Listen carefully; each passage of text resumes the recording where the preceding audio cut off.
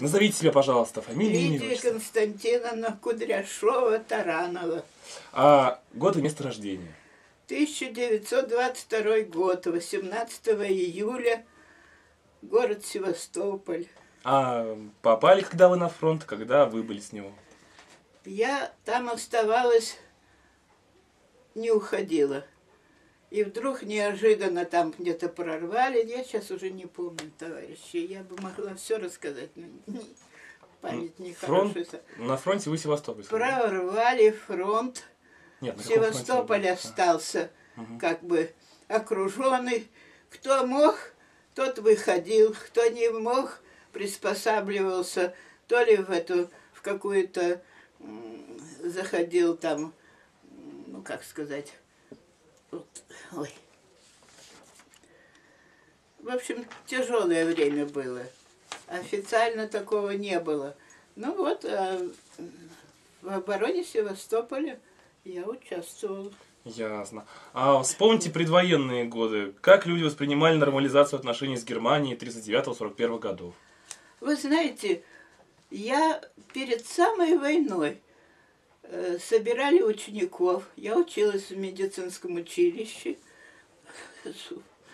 Вот. И нас собрали и послали, э, ну как, в командировку, да? И я как раз вот в Германии попала. Ну, вроде встречали нас как, и не хорошо, и неплохо. Считали, что мы какой-то нанесли удар для немцев, для всех. Потому что они не, не разделяли там на фашистов и вот. А мы ведь э, считали, что фашисты это враги, а хорошие немцы это ведь были немцы, которые помогали. Не Мгм. только были такие. Ясно. Вот. Ну что еще? А, ну, было ли в стране вообще ощущение надвигающейся войны? Из чего она складывалась? Вы знаете, было такое наплевательское отношение. «О, нам стоит только собраться, и мы победим. Мы ведь русские, Мгм. мы знаем, как воевать. Патриотизм был очень большой. И поэтому как-то считали, что ну что немцы, ну собрались немцы, у них никакой перспективы нет, потому что они придут в чужую страну, они будут везде э, натыкаться на какие-то сопротивления. Так и было. Очень много было. Вот э, это училище м, забыла. Ну, не вспоминайте, рассказывайте. Военно-морское училище, Угу. где готовили, ну,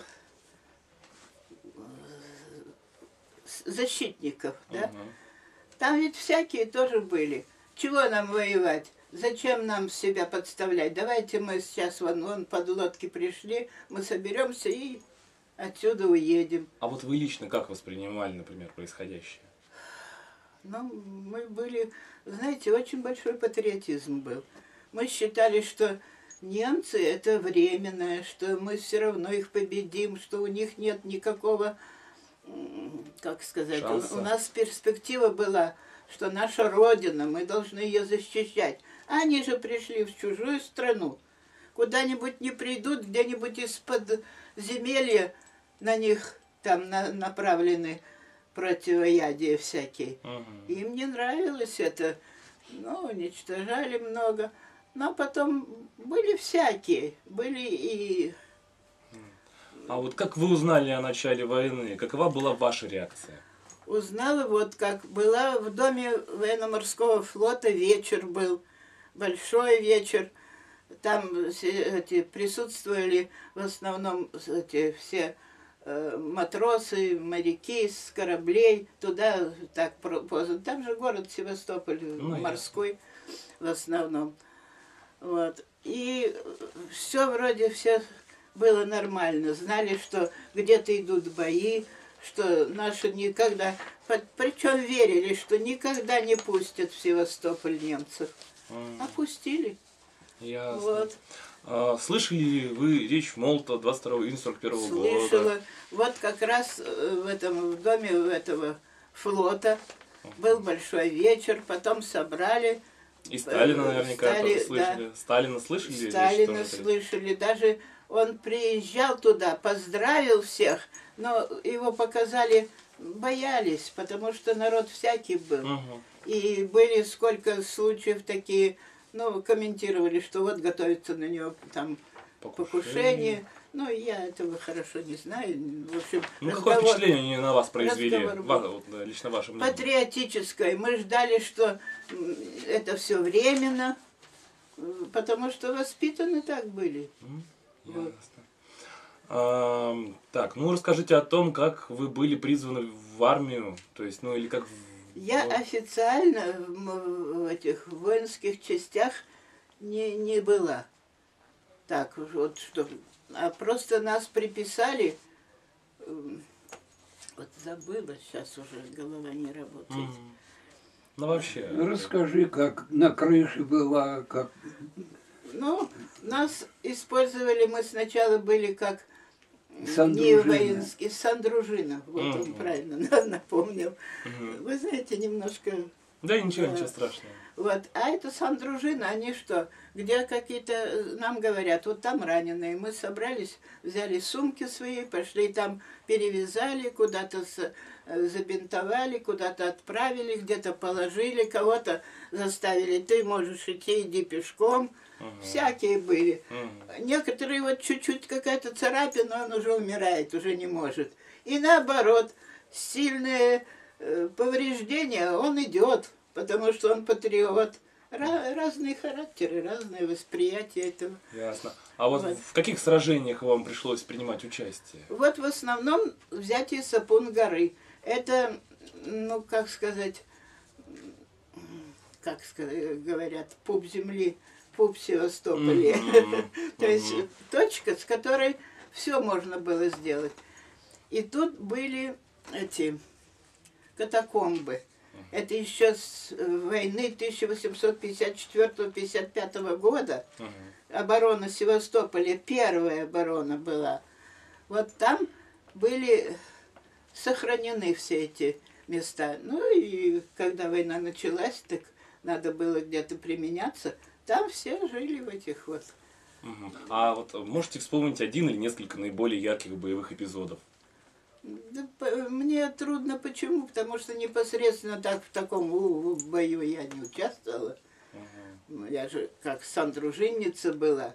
Наше дело было подобрать раненых, оказать помощь и направить человека, рассказать. Некоторые были, вот подойдешь, он раненый, а кто у нас сейчас? Они не знали, кто, за кого воюет. Всякие были. Почему? Потому что призвали много народа, ну, как сказать, нестандартного такого. Собрали, вот деревня была там, скажем, вот Петрушина, да, в этом Петрушино было 150 человек. И ха-ха, ты пойдешь защищать. Взяли. Он не знает, кого он защищает. И такие были. Вы Пока знаете, ему у меня объяснят. еще в 60 году участвовал в экспедиции Вот. о переводе Северного флота из Балтики кор- 46 кораблей. Вот за дальний поход у него значок. Значит, Диксон, два с половиной месяца мы шли. Это Диксон, Певек, бухта Ольга и Владивосток. Д- 20 подводных лодок и вспомогательные 4 суда и 6 эсминцев. Мгм. Прошел 8 морей. И в общей сложности 1300 миль. Это, собственно, возглавлял экспедицию контр-адмирал Горовой. Это тоже на всю жизнь останется. Всю, весь рядовой, что вот сейчас пишет, я глазами ясно представляю. Северно-морской путь. Ясно, ну да, Макс. Ясно. А у вас, вот вижу, много наград. А можете рассказать, за какие заслуги? Какая вам наиболее дорогая из Ну, награда? знаете, вот оборона Севастополя. Самая Вот дорогая, самая, да? Она самая маленькая медалька, но она много значит, потому что мы Я говорю, несколько суток мы были в окрестности, вот, забыла, господи. Ай, Не страшно. прямо на улице. Мгм. И ночевали, и, и смотрели, чтобы кто-то там не прошел. Ну, потому что мы же не бойцы были. А я вот, как в сандружине, я должна была оказывать только медицинскую помощь. А приходилось все. Придешь, видишь, что он, человек не собран, а начинаешь. Ты знаешь, вот это немцы враги. Вот, ну не все, вот э, эти, которые сейчас, ну, объясняешь там, как, как сумеешь. Мгм. Вот. Ясно. А вот э, можете рассказать ваши отношения к войне на разных этапах? То есть э, с какими чувствами вы шли на войну, с какими Ну, возвращались? во-первых, мы, э, Севастополь, он город-герой. Он был еще 1854 год, 55 год, когда та оборона Севастополя была. Ведь не сравнить, сейчас и техника была, и вооружение, и все было. А в ту войну-то винтовка, да какая винтовка? Во, штык такой, что от отсюда туда достанешь. Вот, Я только вижу это по обороне Севастополя панорама. Там, там рассказано обо всех боях. И вот мы ходили туда, смотрели, знали, что это патриотическое такое. Ну, непосредственно, конечно, мы там не, не участвовали, Ну, мы ясно, еще ясно. малы были. Ну вот э, в начале войны, как вы знаете, Красная Армия терпела поражение. А вот ваши отношения к Вот. этому? Мы верили, верили. Вы знаете, очень много значит воспитание. У нас в школе все время патриотические были занятия. Все время как-то говорили, что ну это временно. У нас, э, вот они напали, так, ну, случайно, как сказать, мы не знали, что они нападут, напали, не, не приготовлены, готовились, к обороне готовились, но только у нас нечем было готовиться. М, У нас и вооружение было не то. Я говорю, вот эти винтовки там, идешь вот отсюда туда, штык.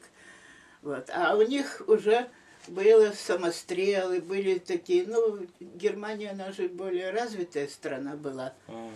Вот. А вот там говорят иногда, что было много дезертиров. То есть, а вот правда Вы ли это? знаете, ну как сказать, я считаю, что это не вполне. Люди не понимали. Вот его направляют, да, он видит, что э, впереди кто-то погиб, ему хочется жить. М, Он не идет туда. Он, вот как его назвать?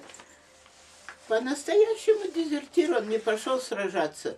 Он ушел сюда, в тыл, спрятался. А у него боязнь, ему хотелось жить. Он молодой человек. Он еще ничего не видел. А нужно было идти и спр- спрашивается, за что сражаться? Не знали за что. Понятно. А вот что вы знали осенью 41 года о положении под Москвой? Э, Вы знаете, вообще очень плохие у нас сведения были, потому что как-то Севастополь, он был э, блокирован из суши, и, ну, с моря, конечно, тут корабли, что они... Да, особенно как-то мы знали, что Москва будет стоять. Верили. Очень сильно патриотическое воспитание сказывалось. Вот, а вы слышали вот о приказе 227 «Ни шагу назад»? Это было. Вот э, Это реакцию все, и почему-то все это э, как-то соприкасалось более с Жуковым. Все говорили, что Жуков э, тут должен проявить себя и показать, как это не организовать оборону. Ну, я не, не могу сказать ничего, потому что ну, я, я в части-то фактически не была. А вы не слышали во время войны о заградотрядах? Не приходилось ли вам встречаться с ними? Может Нет. быть, нет? Нет. Нет. Ясно. Просто были отдельные патриотические такие, как группировка. Вот соберутся, в основном э, организовывали и возглавляли моряки. Мгм. Они или вот лежит в госпитале, лежит моряк и лежит простой это, э, солдат. Мгм. Солдат как-то больше переживает, что он ранен, что он здесь останется, останется и будет жить Мгм. потому что он сохранит. А моряки, наоборот, те или больше патриотизма было, они старались срываться в бой. Ну, не всегда это получалось. Ясно. Вот. А вот э, о штрафных ротах и батальонах, о штрафбатах что-нибудь знали? Вот как раз в районе Не суть важно. перед этим, перед Сапун горой Мгм. был Ну, где-то в той морской, как ну, соединение морское. Мгм. Не соединение, а часть небольшая, там Мгм. их э, человек 150 было. Это, они охраняли это, подступы к порту. Мгм. Ведь порт ведь там большой был. Мгм. Вот, надо было как-то охранять это. Охранять-то нечем. Есть вооружение, нет патронов. Патроны привезли чего-то. Вообще очень плохо было все на это организовано, потому что все это спонтанно так, знаете, раз, раз, никакой. Ну, во всяком случае, был и такой период, когда взяли, что кругом уже занято. С моря корабли подошли. С этой стороны, с суши, тоже непонятно кто чего. И, ну, короче говоря, руководство немножко тут упустило, что ли, может быть, я э, хорошо не знаю. Во всяком случае, все надеялись, что как смогут, вот сможет эта кучка народа там защитить, значит, будет хорошо. Не сможет, значит, прорыв. Ясно. А вот Плохо было. кого, кого в армии считали наиболее выдающимся полководцем? Вот. Можете рассказать? Ну, сначала все говорили Жуков, Жуков, потом Ну вот вы знаете, что вот э, Жукова, есть мнение, что Жукова на войне не очень любили, а называли мясником. Вам Его приходилось почему? слышать что-то подобное? Почему? Вот построили перед выходом как раз, построили все, ну, сколько было там на- на- не населения, а сколько осталось Мгм. этих э, воинских соединений, там уже не соединение, а какая-то кучка-то построили, он вышел, он жесткий, он грубый был. Но ну, он привык так, он командовать привык. Поэтому я не знаю, как-то... Ну. а больше Ну, понятно. был еще, правда, вот офицер, но я сейчас забыла уже. Ну, ясно. Столько времени Ну, прошло. на фронте, как вы знаете, были люди разных национальностей. По вашему мнению, многонациональность это как плюс, минус? Хорошо, плохо? Вы знаете, у нас вот как раз перед, перед тем, вот я говорю, Сапун-гора, Мгм. а там целые эти...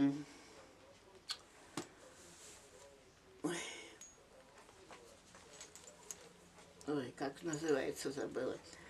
В общем, где раньше это, находились воинские соединения, потом все это осталось, и пустые, как казармы там были. Катакомбы, что какие-то? Да, эти, да, да, да, да, да, да. Вот, вы знаете, немножко это. Вот. И тут вот, когда построили, все говорили, что надо сюда не пустить. А как не пустить? Сюда мы не пустим с, с этой Мгм. с города часть, а они по морю подходят на, кораб... на катерах и опять отгоняют. Вообще сложная обстановка была, тяжело, я не знаю, там, сейчас я уж не помню, кто и руководил хорошо, не помню я. Ясно. А вот э, повлияло ли участие в войне на ваши отношения к религии? То есть, каким образом? Вы да? знаете, еще в школе, вот, у нас всегда собираются, обязательно вынесут этот портрет Ага. какого-то там святого, был он святой или нет, никто не знал. И вот начинает, то то то то то то то вот он Пропаганда хороший, какая-то, да, это было. И в то же время были как э, комсомольцы и пионеры. Мы, хоть они говорят, а я его не видела и не знаю этого святого, и не хочу знать. Вот, совсем другое отношение. Но патриотизм был основан, конечно, не на религии. Ну, не знаю. Ясно. Мало. Так. Ну, скажите, пожалуйста, о вашем отношении к врагу. Каким вы его видели, воспринимали как Ну, его? во-первых, конечно, жестокость. Они очень э, плохо относились ко всем. И раненых э, и избивали, и мало избивали. Они так это, э, как только могли, так и издевались. Поэтому, конечно. И потом вообще сама обстановка заставляла говорить, что они нам не нужны. А вы вот видели когда-нибудь э, пленных врагов? Видела. А вот Ну. ваши чувства, впечатления, отношения к пленным вообще? Ну, во-первых, были такие, которых заставили. Мгм. И ему объясняю, вот его на допросе. Вот мы один раз, ну, так, негласно присутствовали. Я, я же в воинской части так вот боевой-то не Мгм. была. Но при- приходилось, слышали, вот ему говорят, ты почему пошел? Заставили. Как заставить? Тебя могли заставить еще что-то сделать? Молчит, не знаю. А потом, так если взвесить правильно, у них патриоти- патриотизм тоже должен быть. Они должны были защищать свою родину, то есть свою линию. Поэтому, не знаю, сейчас по-другому уже оценивается. А вот приходилось ли вам во время войны слышать о власовцах? Слышать слышала, но не видела. Один раз сказали, что там кого-то, какого-то поймали на... э, Пришел на катере, вроде, там бухта у нас была такая, э, заход в бухту, и как раз выход в эти вот казармы, где прятались. Вот он как туда попал, я уже сейчас не помню. Вот, но что вот он имел целью там что-то сделать, его поймали, и вот э, кто это? А, Одни говорят, что это из армии Власова, а кто говорит, что просто какой-то э, сам действует. В общем, Ну, не могу сказать, не знаю. А вот э, что представляло наибольшую сложность в быту? Ну, в быту, ну, во-первых, с питанием неважно было. Надо было где-то найти истоки э, обеспечения там. Но в основном там, конечно, вот матросы, они до- добывали и делились, и, сообщи, и снабжали. Ну, так особенно. А когда было воевать труднее, летом или зимой? Почему? Я как-то мало. Я как раз была вот, вот такой период, когда еще и не жарко, и не холодно. И потом мы из Севастополя уехали. Мы на, этим, на катерах э, на Кавказ приехали, привезли нас. И под э, Сухуми там организовали ну, такое временное место – Мгм. ну, забыла я сейчас все. И в этом, в общем, там раньше был парк, ВИР, Всесоюзный научно-исследовательского института, парк. В этом парке устроили, значит, такие не, не палатки, они временного содержания такие Ну, были. временный городок такой, да? Да, вот там были мы. Почему? Потому что привезут, мы кто по, там послабее мы их в помещение, остальные прямо на улице, там дадут матрас, бросят. Ясно. В общем, всяко было. Ясно. А вот э, в военное время, то есть какие у вас развлечения были в там или еще что-то? Ну, ансамбль Черноморского флота в основном, они настолько были настроены патриотически, настолько находили время, что даже несмотря на то, что у них кругом такая напряженная обстановка, вот при несколько раз приезжали вот в дом флота, так туда пройти нельзя было. Вот. Ясно. Там, А вот а как вы можете э, охарактеризовать отношения на фронте между мужчинами и женщинами? Всяко, всяко. Было очень много, первое время очень много, особенно из такого начальствующего состава. Вот смотришь какой-нибудь офицерик, он представляет, что раз девчонка, все ему дозволено. Мгм. Это все было. Их наказывали Мгм. тоже. Но наказывали как? Вот что-то случилось, ей самой-то стыдно говорить об этом. Ну, скажет, скажет, его накажут, а что толку?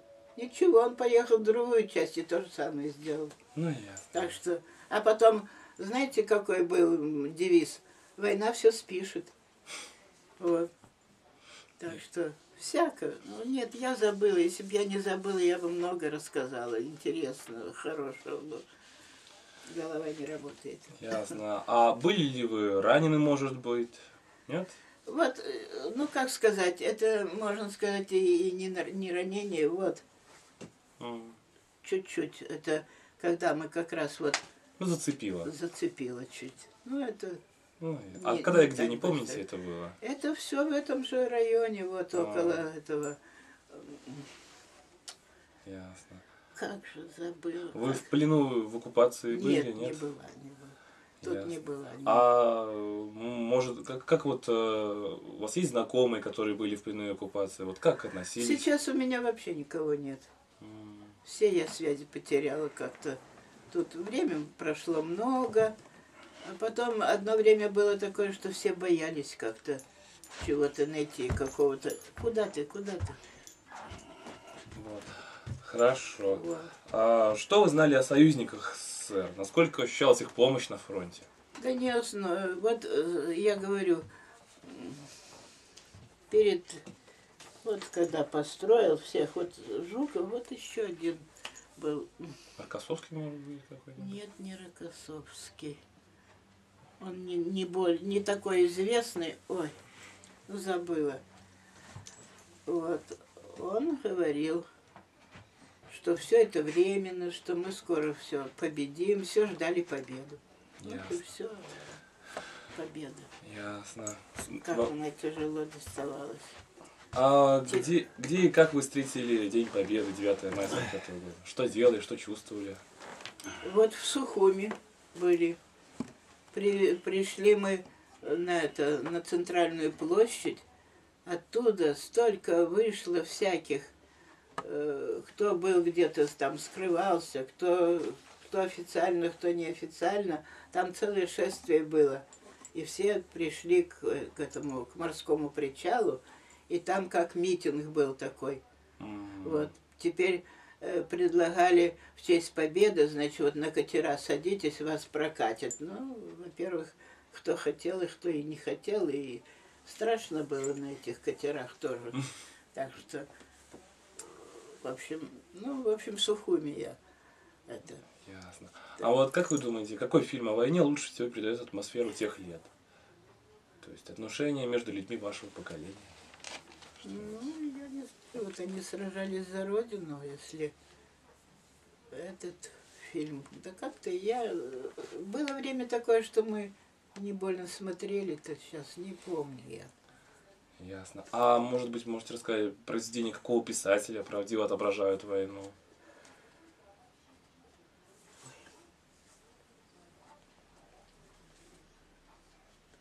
Ладно. Нет. Ничего. А вот, ну что, Вы можете знаете, еще? я вот знаю, а сейчас высказать не могу, потому что я потеряла память. Вот Ну, ничего немножко. страшного. Ну, что можете еще вообще добавить, в общем, ко всему уже сказанному? Ну, что скажу, что... Ну, молодежи можете что если посоветовать. Молодежь вся была настроена патриотически, очень хорошо помогали. Рабочие, э, это, вот был там такой э, этот завод, э, где ремонтировались и строили, и ремонти... сначала ремонтировали, а потом стали строить даже корабли. Этот Севастопольский морской завод. Там ведь оттуда столько ушло бригад, столько ушло патриотических соединений, молодежи. Они даже знали, что имеют бронь тут на заводе. Они шли на фронт. Много это, ну, это все. Ну, что вы можете еще посоветовать там нашей молодежи сейчасшней? Там? Ну, во-первых, что я скажу. Я одно время нас, ну, просто просили, ходили мы на все эти э, ну, собрания молодежи, рассказывали. Ну, я тогда еще могла кое-что рассказать, а сейчас я говорю, у меня голова не, не та голова. Ну, ясно. Вот. И рассказывали, как, и, как собирались, как готовились, как э, что нужно. Ну, в общем, наставляли на теперешнюю жизнь.